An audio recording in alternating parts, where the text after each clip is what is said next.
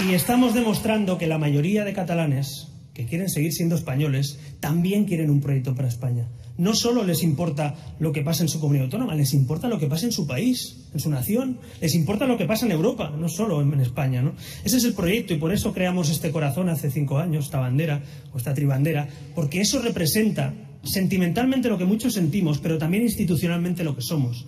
Una comunidad autónoma de una gran nación de Europa y un proyecto europeo. Eso es lo que representa Ciudadanos. Y por eso la batalla que se va a librar en Cataluña en los próximos días no es simplemente una batalla local, autonómica, es una batalla política de orden nacional y europeo.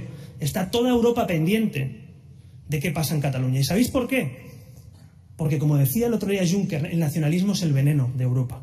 Porque, como decía Macron el otro día, el nacionalismo es la hoguera donde puede perecer Europa.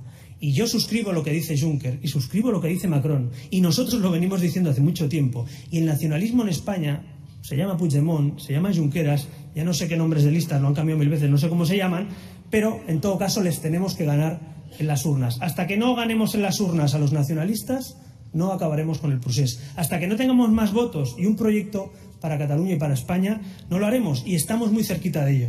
Por eso yo os propongo una cosa en esta campaña, especialmente a nuestros candidatos. Defender sin complejos la idea de España y la idea de Europa. Defender sin complejos los valores civiles frente a los eh, valores identitarios. Defender sin complejos nuestra posición. Hay que combatir el supremacismo con igualdad. Hay que combatir la imposición con libertad.